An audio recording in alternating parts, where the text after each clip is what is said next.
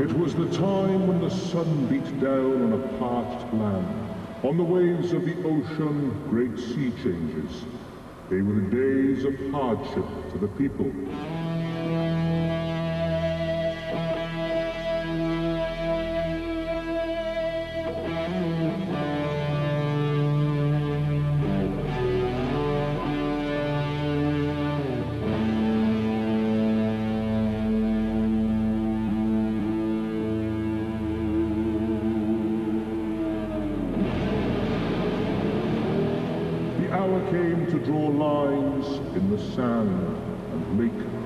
Choices.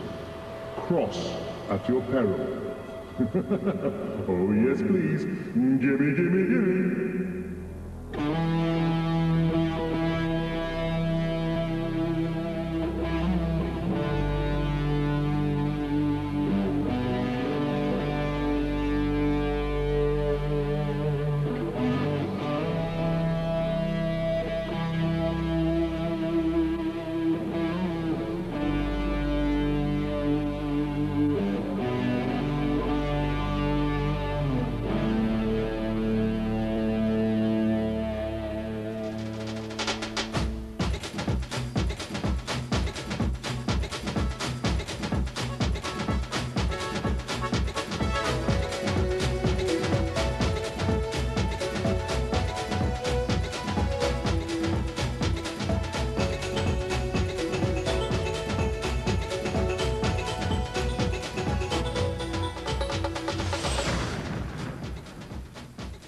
Good afternoon. Welcome to Scrum 5, the rugby programme with a new approach. The game has changed, and so have we.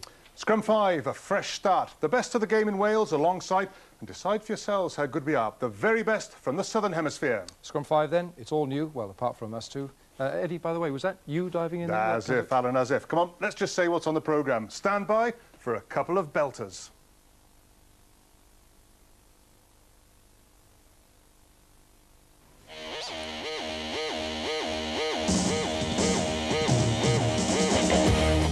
First last season, first outing this season. Heineken League champions Cardiff. Pumped up Pontypridd, they reckon it's their turn. From South Wales to the Southern Hemisphere, New Zealand's champions and pretenders. After the World Cup failure, South Africa revisited. Some home truths to ponder. And the man who launched the brave new world. Rugby will become an open game. There will be no prohibition on payment or the provision of other material benefit to any person involved in the game. And talking tactics the Treorchy way, our analyst, Clive Jones.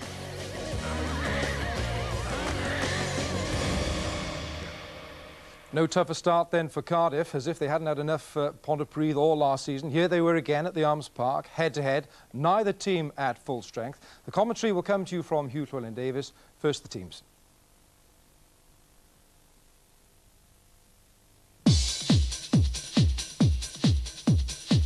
Our key is uh, the, the half-back, I think, and if we can get some possession for them, they, they can dictate a game, and hopefully Neil will uh, run matters, and uh, we can spread it wide. We've got uh, like Sky Manley on the wing, and Kerry Thomas, who are not no slouches, so we'll be looking to move it wide. Up front, usually we take the lead off Dale and uh, Phil John, so if they have good games, usually it gets the rest of us going. Um, obviously, with Greg out today, we'll be looking for a big, big game from Mark Rowley. Well, it's going to be tough for us. Uh, we've got a lot of players out, but uh, you know we'll be very competitive. And uh, being on our home ground, uh, it's vital for us to win. You know the back row is very strong. Although we don't have height there, it is very strong, and, and certainly the front row is an international front row. So. You know, uh, we'll be competitive in certain areas, but hopefully the injuries will hold up and, and we can go forward. So it's the start of the new professional era here at a club steeped in the old traditions and a stern challenge for a below-strength Cardiff as they attempt to become the first side to successfully defend the Heineken League title. The day's top game deserves a top referee. We have that in Clayton Thomas from the Welsh international panel. First kick goes to Dale McIntosh. Cardiff's first touch as Heineken champions.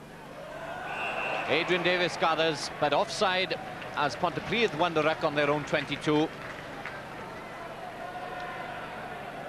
Pontypridd, who did start last Saturday, they gambled without Jenkins, John and Greg Prosser and beat Ebbw Vale and gained four points under the new points awarded for try scoring this season. Here's Neil Jenkins, a week ago against the world champions. This week against the champions of the Heineken League.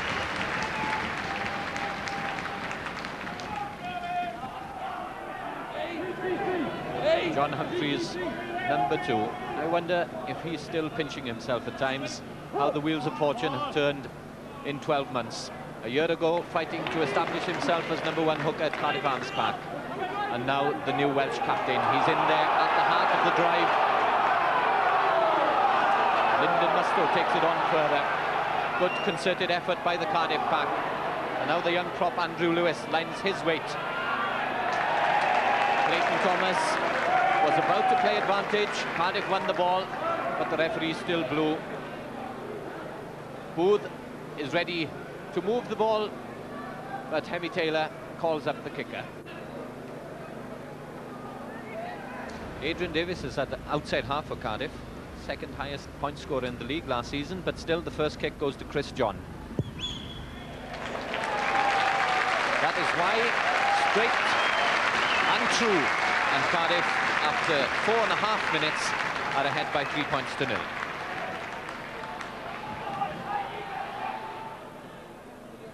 Phil John. And the line-out work by both sides so far, exemplary. Wakeford three times for Cardiff, now Mark Rowley for Pontypridd. It was Steve Lewis who took the short pass from Neil Jenkins. It's back with Jenkins. Thrown down by the mobile prop, Andrew Lewis. Pontypridd 10-metre line. Mustoe, Vince Davis. Two former Pontypool forwards now combining for Cardiff.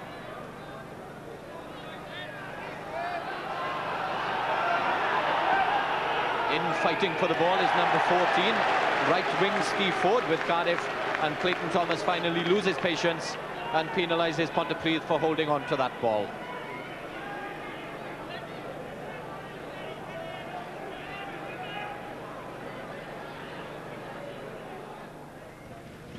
John, once again, strikes it well. For the second time, successful. Eight minutes gone, Cardiff lead, six points to nil.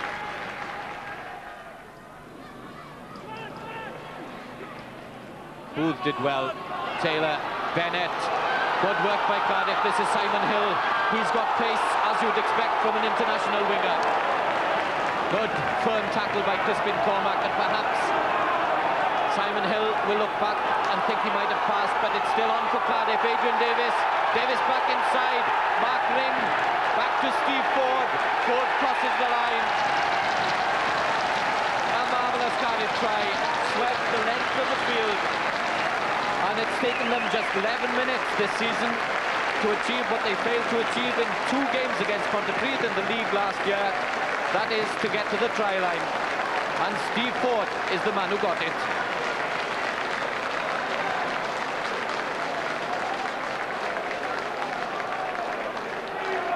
Such confidence in the Cardiff ranks, moving the ball, untidy ball initially from the line out way back in their own 22. It was halted, but only temporarily.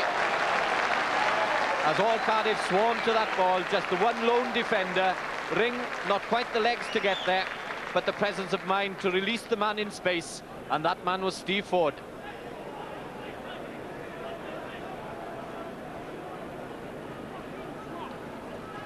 Chris John maintains his 100% record. And Cardiff are scoring at a rate of more than a point a minute. They're 13 points ahead after 12 minutes.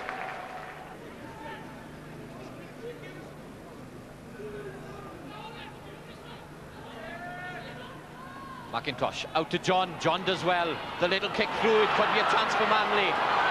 Oh, he's done well. It's a try for Pontypridd.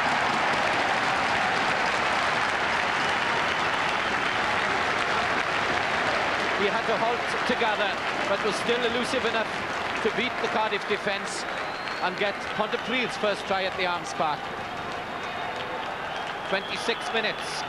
It's 16 points to 8.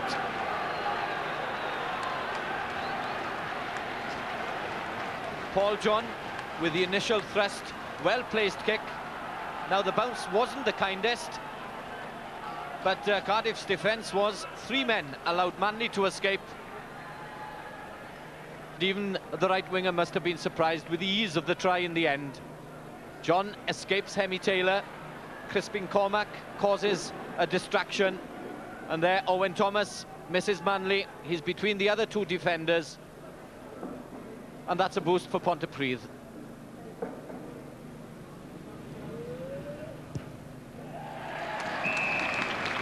Neil Jenkins converts and Pontypridd are right back in the game. Dale McIntosh has come to stand number two for Pontypridd.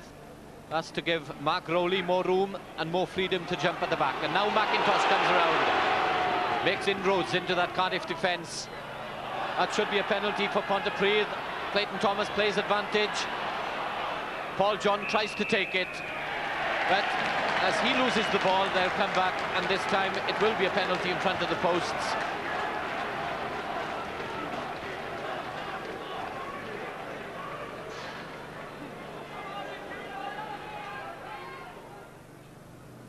A genuine chance this time for Neil Jenkins. Two out of four so far at the posts. Now it's three out of five. And Cardiff's lead, once 13 points, is down to three. It's 16-13 after 32 minutes.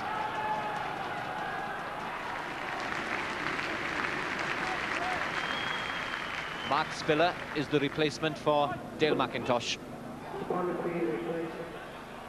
Hemi Taylor and his pack for the fifth time. Trying to apply the pressure on the Pontypridd. Once again, they go for the pushover. And this time, Clayton Thomas loses patience, goes under the posts. It's a penalty try.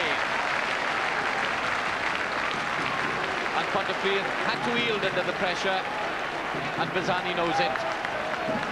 It's Cardiff 21, Pontypridd 13.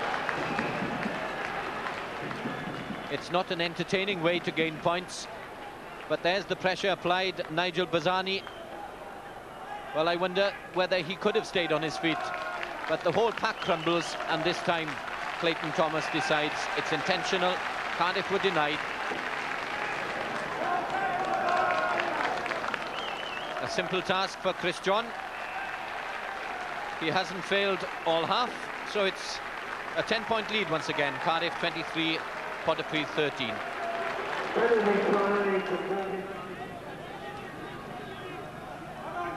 Forty minutes gone at the end of the first half. And once again, Pontypridd are defending. It's been Cardiff's half, it's reflected in the score. 23-13, they lead. That's the whistle for half-time. Interesting, at times entertaining. And Cardiff rightly lead 23 points to 13.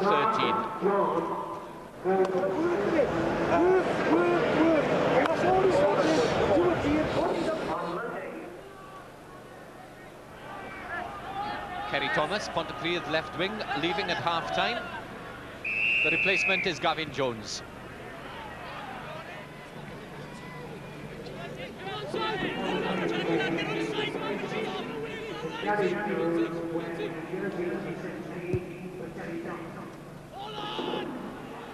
Cormac on halfway.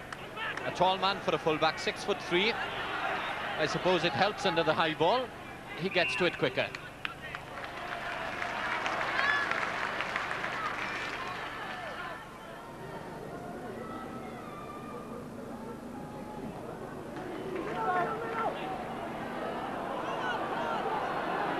Rowley initially won a pillar of strength for Pontypridd in the middle of the line. taking the ball for the sixth time cleanly in the game.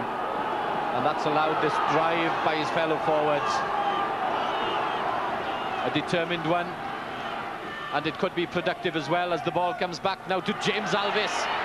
He's well held, but it's a penalty for Pontypridd. That's against Cardiff for pulling the rack down or pulling the maul down.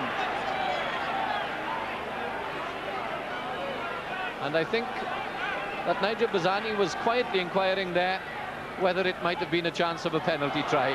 But Clayton Thomas would have had none of that. Interesting point of discussion as we uh, watch Neil Jenkins' lengthy preparations. Now, it states in law that 40 seconds is the maximum allowed for a kicker from the time that he indicates he's going for goal to the time that he runs up and kicks. So far this afternoon, we've timed uh, Neil Jenkins an average of a minute. And again, it states in law that that is outside the time that should be allowed. Jenkins, it creeps inside the posts. It was time successfully spent this time because Pontypridd have their first points of the second half.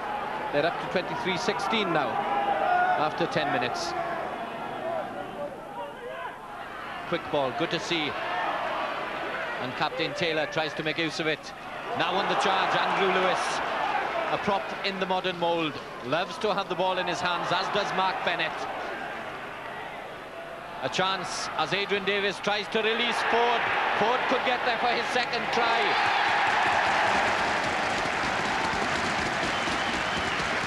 It's the third for Cardiff, so it's their first ever bonus point for try scoring in the Heineken League. To remind you, it's one bonus point for three or four tries. It's two for five of six, and it's three for seven or more. So as they open their campaign, Cardiff, who failed to score one try against Pontypridd in two games last year, have now had three, two for Ford, and a penalty try, and a bonus point to boot.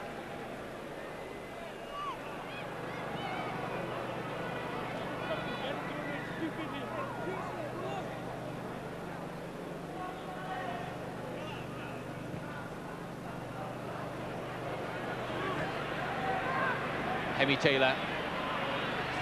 It seems as if he is going to open his campaign as the new club captain of Cardiff with a victory. Storming on once again are the Cardiff forwards. They've been dominant this afternoon. And the backs have enjoyed the freedom to run. Steve Ford against the replacement, Nicky Lloyd. Ever elusive Steve Ford. They've turned him. He's over for the hat-trick. A wide smile of satisfaction and delight from some of the walking wounded of the Cardiff squad who watch.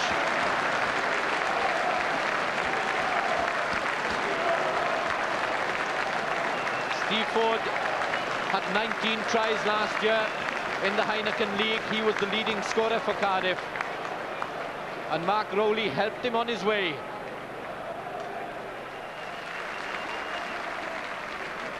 Mark Ring has left the field Simon Davis is on.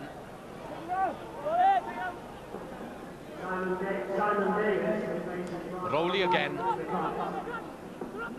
The one good source of possession for Pontypridd in the line-out. But the usual fire is not quite there from the Sardis Road Club. Trundling forward,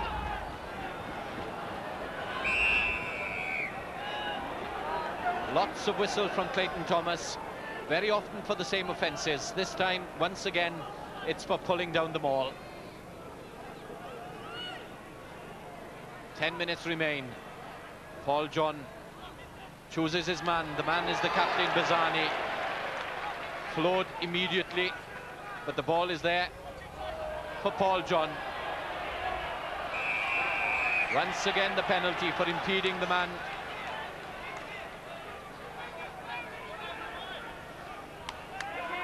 Phil John takes it quickly, right on the line. Turning, twisting, and the try is awarded.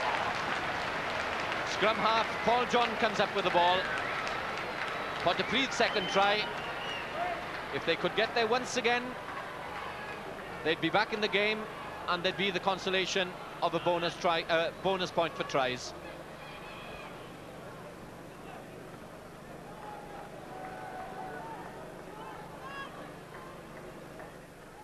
It's the Johns in concert.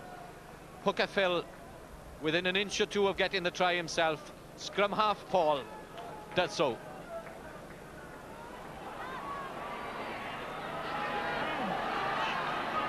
John sweeps it out to Simon Enoch at centre. And here's a chance for Pontypridd. It's 3 to 2. If they can work it out, Nicky Lloyd. Lloyd. Steve Ford stays with him, but inside is Paul John. The scrum half gets his second try. And slightly lax Cardiff defence allows Pontypridd to come back. It's 36-29 and an easy conversion to come. Well, three minutes left. And the battle that seemed over is still alive. Nicky Lloyd has made quite an impression since coming on as a replacement. Did well to keep it alive. John did well to support. And that's his second try. Neil Jenkins. That's straight and true.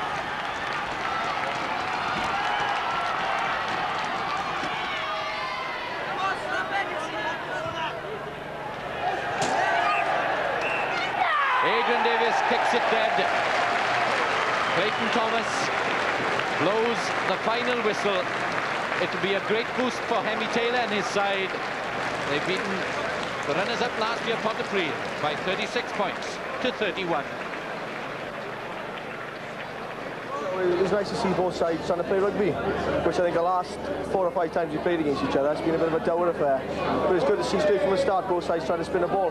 I think the crowd enjoyed it. Very unusual for uh, Cardiff Pontypridd games, but we both said, uh, you know, myself, Paul and uh, John in uh, South Africa, that we're going to try and make it as open as possible and, uh, you know, what the spectators are paying for, let's, you know, let's give a bit of open rugby. And like, well, like I think we proved today that we're uh, certainly in for honours again at the end of the season. I mean, I know it's a long way to go, you know, and there's a lot of hurdles to uh, sort of get over, but uh, we got a good side out today, and uh, we'd be more than happy with our performance today. To win a championship all the cup is based on the squad. You know, we've had injury problems, so are other sides along the way. But it's those who overcome the injury problems, the ones who succeed at the end of the day.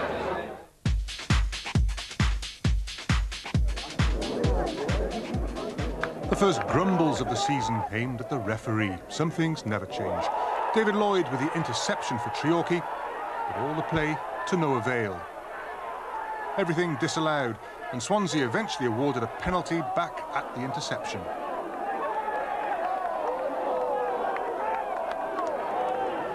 Treorchy leading 6-3 at half-time and continuing to drive on and drive on.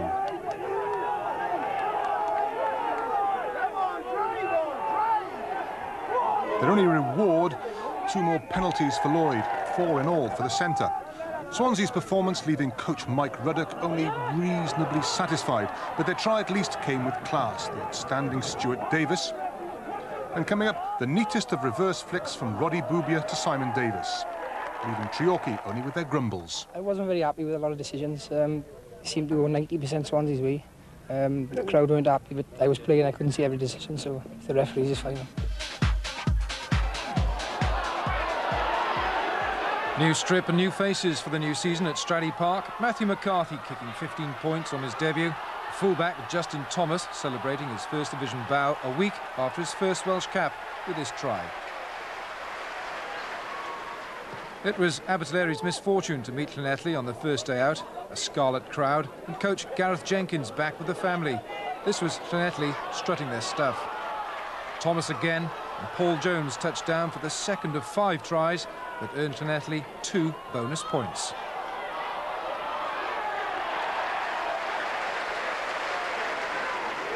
Llanelli dominated the second half, Robin McBride pushing his weight around for McCarthy to put centre Neil Boobyer clear. A display that earned the Jenkins stamp of approval. It's nice to be home. Uh, it couldn't have been a better day for it. Uh, it was a well-supported game as well. We had a good, good home crowd here, and um, we've seen some good rugby. I, I was very pleased today. Sunshine on the Port Talbot Riviera and touches of brilliance. The Gen scrum half, Robert Howley, and a series of passes all backwards until Matthew Lewis to Gwilym Wilkins with one looking a touch forwards. Try awarded. Jason Foster taking on the Aberavon defence. Nigel Spender with the more heavyweight finish. 12-6 to Bridgend at half-time. Chris Bradshaw with the break. And his long pass to Jamie Reynolds.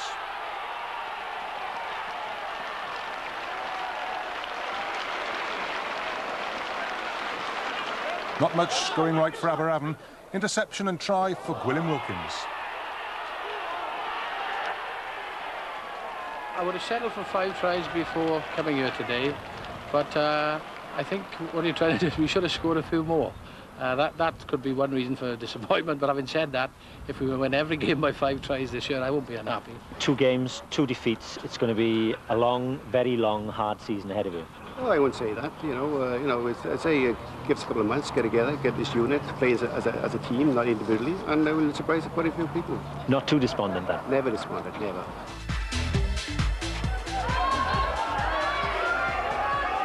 Remember those great Neath days when points and tries records were broken with a style of rugby envied countrywide?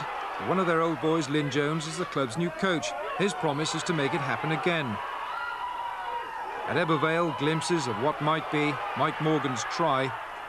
But the coach not entirely happy. I was, I was a little disappointed, uh, especially first half. Uh, Ebbw Vale tend to come over the, over the top and come in the side of the racks after what, what happened in the World Cup. We've been we've been working on on what happened in the World Cup. You know, being positive and not giving penalties away at those areas, which is quite cancerous in, in Welsh rugby. Was disappointed that they they they, they were ill-disciplined there and were uh, rewarded for it by not getting penalised. They look to set up mauls and slow it, you know. We obviously then, if they're looking to sit in and settle and set up a maul to drive, we have obviously got to look to disrupt it, whether it be knock it back or whether it be bite your tongue and drop it, maybe. Gwent Derby. Guess how many bonus points for tries scored here? Penalty by Newport's Gareth Rees. Ex-shot putter Canada's outside half. And another. 9-7 to Newport at half-time. Newbridge in the second half with a gem of a try. Scrum half Richard Williams. Wing Steve Reed. And Matthew Silva back in Union after playing rugby league. From the Halifax Pro to the Eton Schoolmaster. A game of two very different halves for us, I think. Uh, the first half, we, we, tried to run as they were, in it, with the line-out dominance we have this year, or uh, potential dominance, we, uh, we should be playing a bit tighter games. So we tightened it up a bit in the second half. But uh, we're, we're a quietly exciting side. We can, we can run around the fringes. Uh, and uh, I was happy with the guys that they played. The forwards were very tough and got effectively a pushover when it counted, and that, that was great to see. And uh, we've got a lot of things to work on, but uh, it's a great result away from home. It's hard to win up here, we know that. How about a new number 10 to brighten up English club rugby? Leicester have one, but he's Irish, Niall Malone, and only occasional adventure in front of 14,000 at Welford Road against promoted Saracens. Surge by centre Stuart Potter, and Rory Underwood squeezing over for one of Leicester's three tries. At Gloucester, events on the field not as exciting as matters off. Gloucester's Tim Smith, but this was the tale of an expansive outside half who wasn't playing and who's Welsh. Paul Turner off the bench to do a mini Cantona on a fan. The player coach back to enjoy Severi Muto's winning try. And Orrell's expansive game needs a bit of refining too. Harlequins with David Pears, injury-prone, but still the most likely number 10 in England to open things up, taking advantage. Will Darling to hook a replacement for the injured Brian Moore, Simon Mitchell.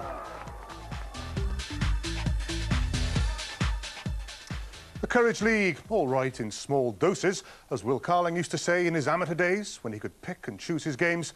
But now to something that's great in huge chunks, the National Provincial Championship of New Zealand. Otago, from way down in the South Island in their fortress of Carisbrook in Dunedin. Carisbrook, All Black Test Stadium, one of the citadels of rugby union. From the top of the North Island, against Otago come the champions, Auckland. And the home team coming out in the blue and gold. We join play in the 11th minute. Auckland 3-0 in front after an Adrian Cashmore penalty. Commentator at Carisbrooke, Keith Quinn. Oliver throws. Joseph and Taine Randell going high. John Leslie. Forster. Well done, Otago. Out to Randell, last week's attacking number eight forward. A great run. Bishop. A great try for Bishop. But once again, big thanks from the crowd to number eight, Taine Randell.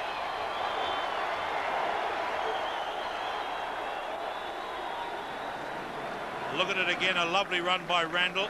This is the way he probed in that uh, try to Paul Cook uh, last week and the one he scored himself against Wellington. The pass just delayed it a wee bit, gave it to Bishop, momentum running. The tacklers came in, but Bishop was over.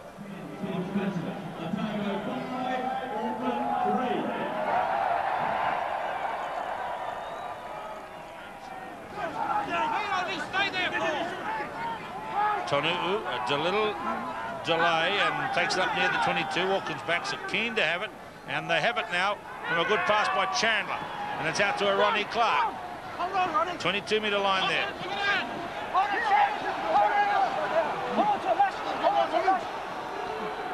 Pretty good Auckland pack that's here today. Tonu'u. Spencer. That's Mika, Dylan Mika. Tonu'u. He's been obviously instructed to have a few goes to tie in that Otago loose forward trio. We'll see what he does this time. And it's a penalty. Timmins protests to the referee that it was out. Well, he came in from the side.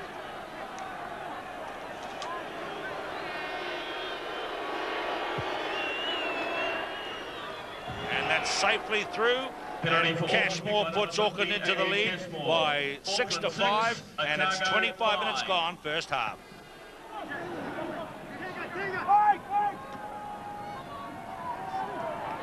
To Jones. Tonu. Spencer. Good run by Carlos Spencer. Somebody's down there halfway. Another good run by Mika. Cashmore is there. Eroni Clarke. And this is getting dangerous now. And a good work by Craig Dowd heading to the corner.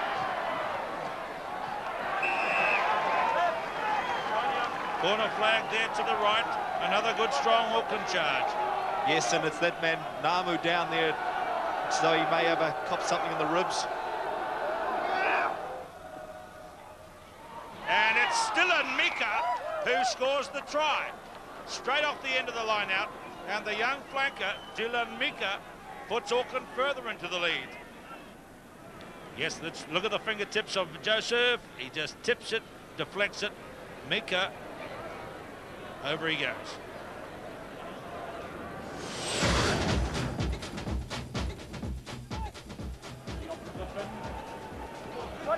Well, that uh, throw by Oliver was straight down his team's side, and Zinzan Brooke has gone through and got it. Tonu'u away to Mika, the young Marist player from Auckland.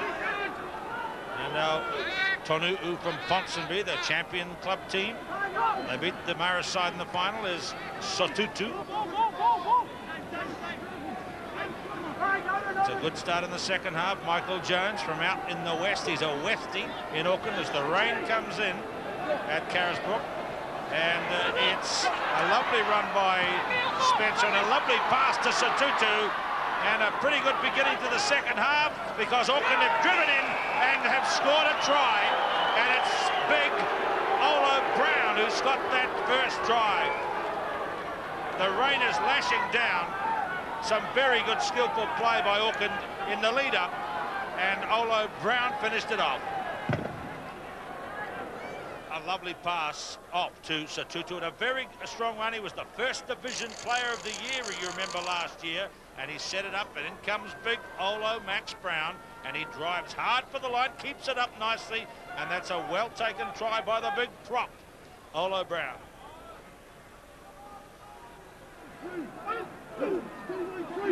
Attacking Auckland scrum, they lead by 20 to 8, 15 minutes gone for a second half. Mika up to Tonu'u, Carlos Spencer. Almo has uh, done some good things in the second half. Maybe there was a case to be switching it, moving it on there. And now Stensness. There's the goal line just ahead. This is good play by Auckland. Spencer to Brooke to Jones. And Michael Jones knows how to do it. And that's a try for Auckland's star number seven, Michael Jones.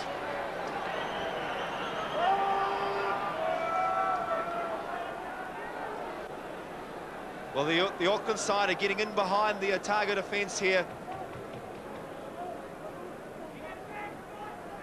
Too many numbers, players moving onto the ball. Spencer to Brooke. Brooke then with the unmarked Jones outside. And Jones, the pass just slightly behind him. Leslie coming across for Jones in the corner. Forster. Basham. John Leslie. Over past Brown to right. Jason Wright, a good step. And maybe Michael Jones was early on Kronfeld. Yes, definitely, Keith. Michael Jones took Kronfeld out of play there without the ball. Referee saw it. They're going for the seven-pointers, though. They want the try and the conversion. Nick Moore is close. Oliver is pushing hard. Otago Desperate, down by 17. Move it wide. Advantage has been played for offside. Brown. Tony Brown try.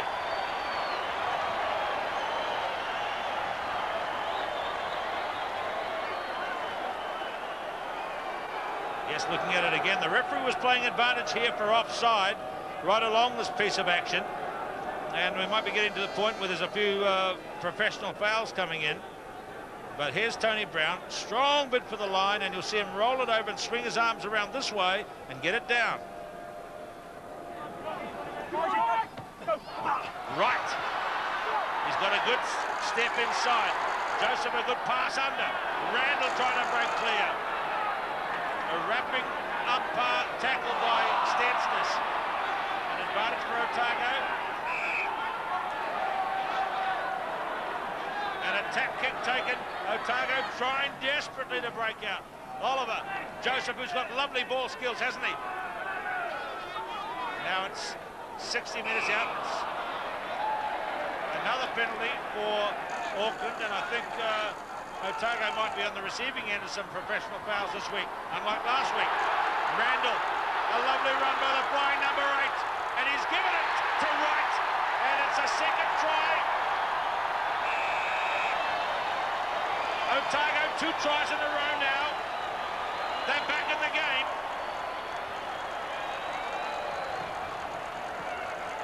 Time is ticking away, though. Time did kick away, tick away, and despite this last-minute penalty by Tony Brown, Auckland winning once again.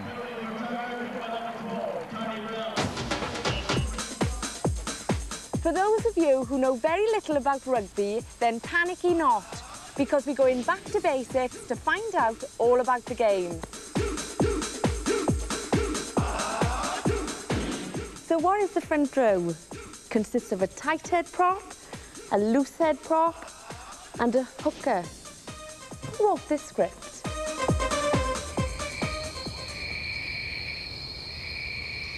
And here we have a rare species of a hanky loose head.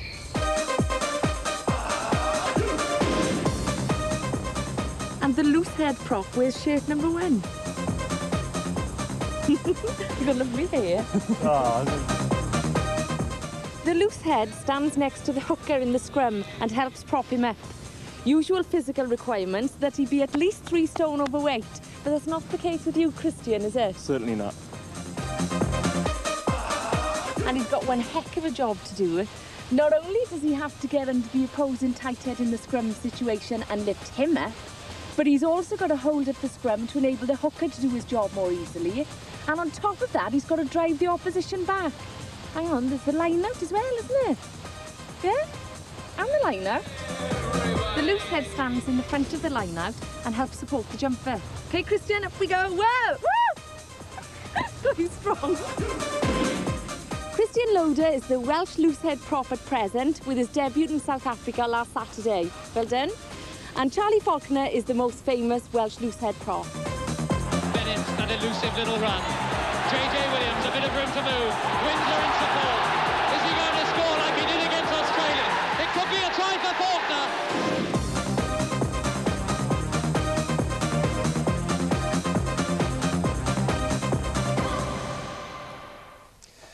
misinterpretation will be with us uh, again. Well, now we've seen some terrific matches. Uh, that fantastic uh, Otago-Auckland game. And Clive is with us, Clive Jones from Chalky. Bad luck yesterday, Clive.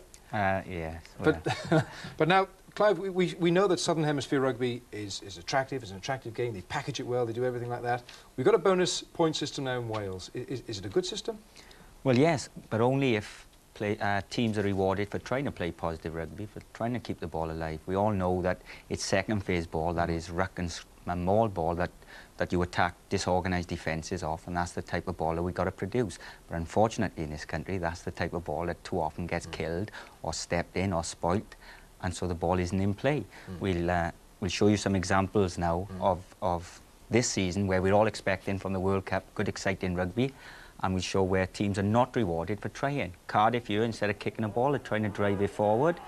And straight away you see the Pontypridd forwards join in from the side. Number one penalty, they're offside. Worse than that, they come around and stay there. The ball is bottled up. Chalky, take a ball, drive in through the line out. Drive forward powerfully. Going forward has breached the defence. Three Swansea players offside, not retreating.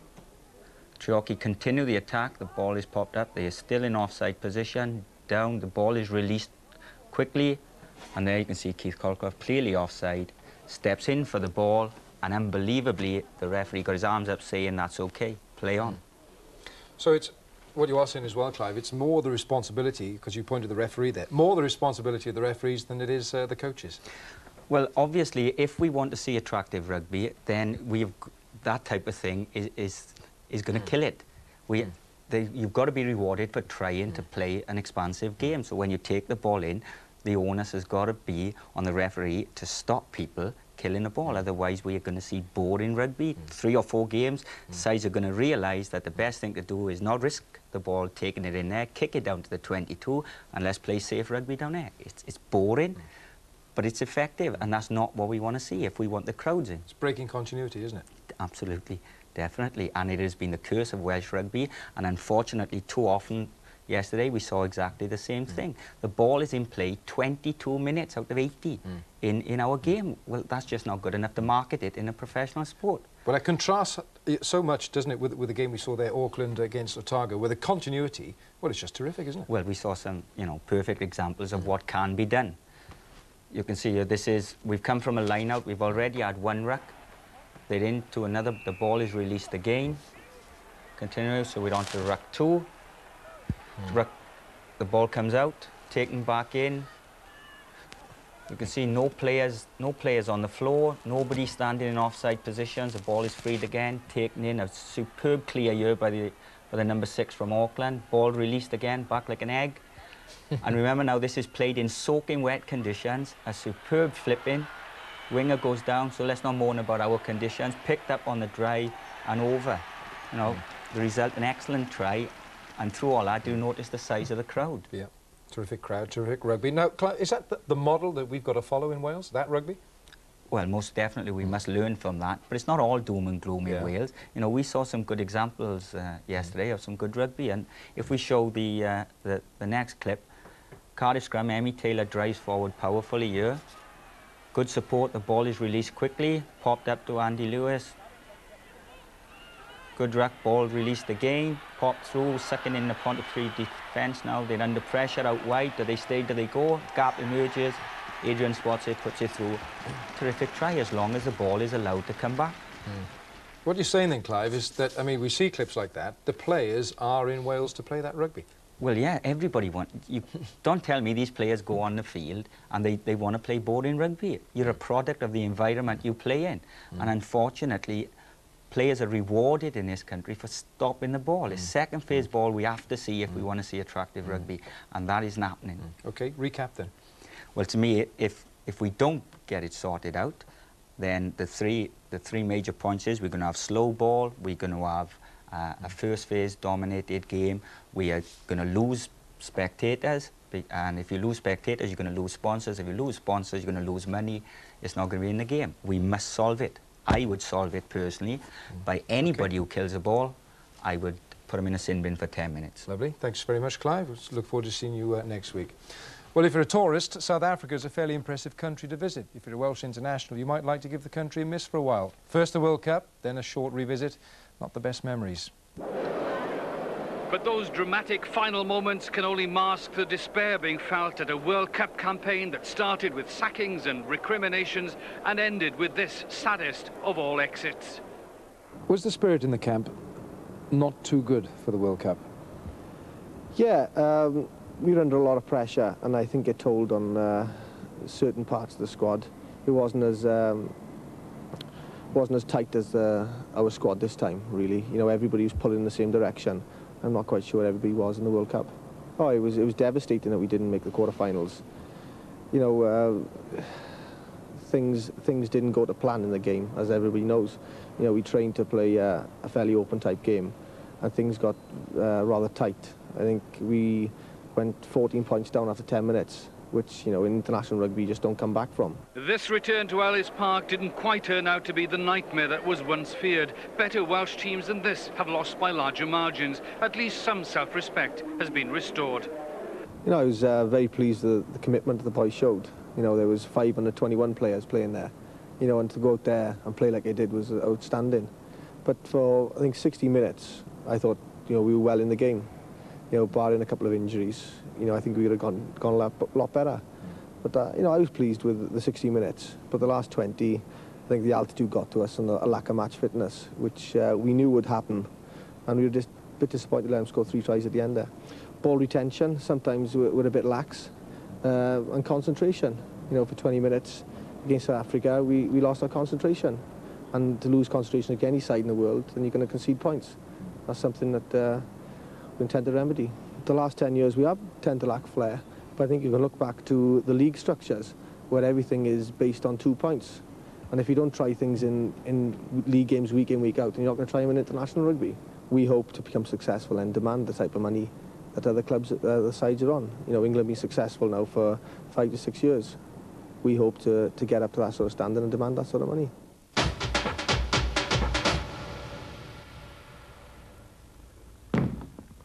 Few bumps and bruises, but a bit of a result on Saturday, National League Division 13. Cash, please. Apparently, the green, green grass of Wales is now awash with the green, green notes of the Bank of England. In all the time it took for two Australian media barons, Mr. Rupert Murdoch and Mr. Kerry Packer, to frighten the Southern Hemisphere into signing a contract, rugby went professional. And something that was all once done for absolutely nothing is now just full of investment potential. Rugby in the fast lane. It's gone from the age of the horse and cart driven by Victorians and their amateurism to this. Brum brum. European Cups, the Arms Park to be redeveloped for 100 million, the Springboks and 140 grand a man. No more dodgy envelopes, all taxes sorted out, fully comprehensive insurance. We'll take it. And I'll pay cash. One's own label. Here's to the fruits of rugby labour. But there must be a snag. The Springboks will be rich, but basically they've signed away their freedom. They'll play as many games as Louis Luyt deems profitable. Professional players, rugby slaves, and they're the best. What about Wales? If it's all about performance-related pay, what is Welsh rugby worth right now? I know you, you're rubbish you are, now get off my land. The staff nowadays, next he'll be wanting a minimum wage. The person to talk to about a wage in rugby should be sitting here in our hot seat, the new Scrum V debating chamber. Vernon Pugh, though, is a busy man, so fear not, we got him this morning. A little exclusive for Scrum V, Scrum V and I asked Vernon Pugh if he was surprised by the speed of change. It was amazing, I think, when one looks back upon it. I didn't anticipate it even two days before the meeting. And certainly now, um, I think one can see the beginnings of um, concern on the part of um, those who are part of the decision as to whether or not they did the right thing. I'm pretty sure that they did. But uh, yes, I think it is momentous and pretty historic. If two days before the meeting you were heading for presumably another fudge, what happened to make everybody change their mind? I chaired the meeting and uh, decided quite deliberately that uh, if we talked in the abstract about what the game should be and what should happen, we'd get nowhere. We would certainly fudge. And we had uh, an honesty session.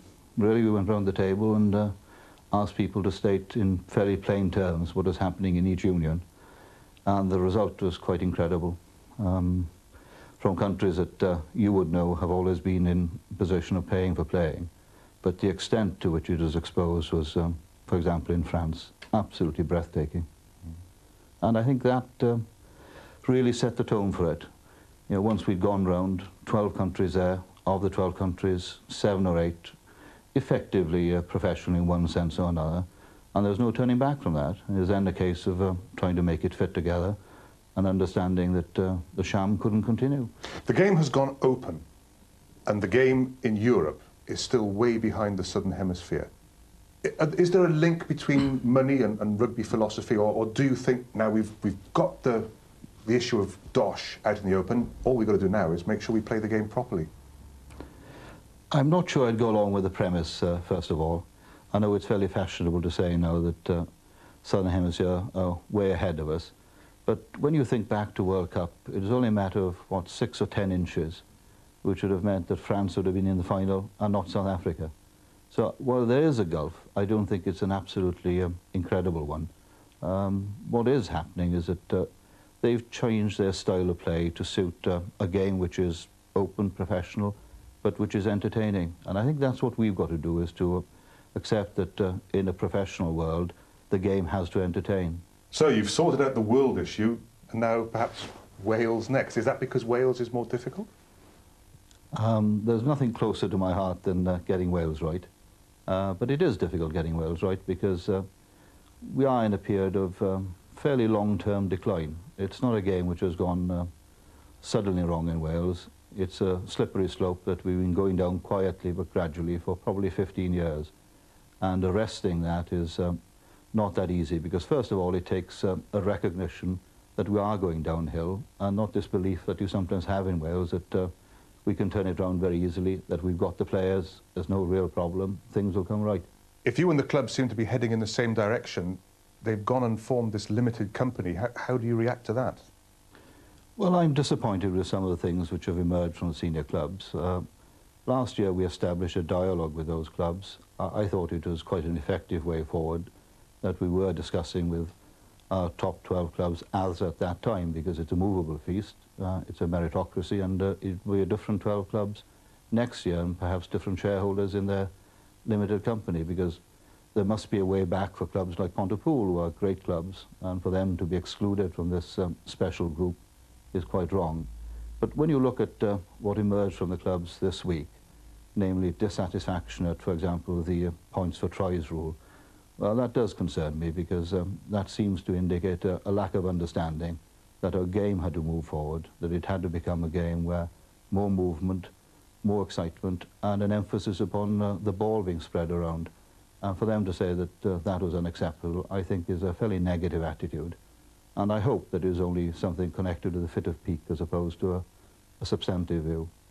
Finally, we've got 220 clubs. That's a lot of committee men. Can they vote for change as quickly as you'd like them to?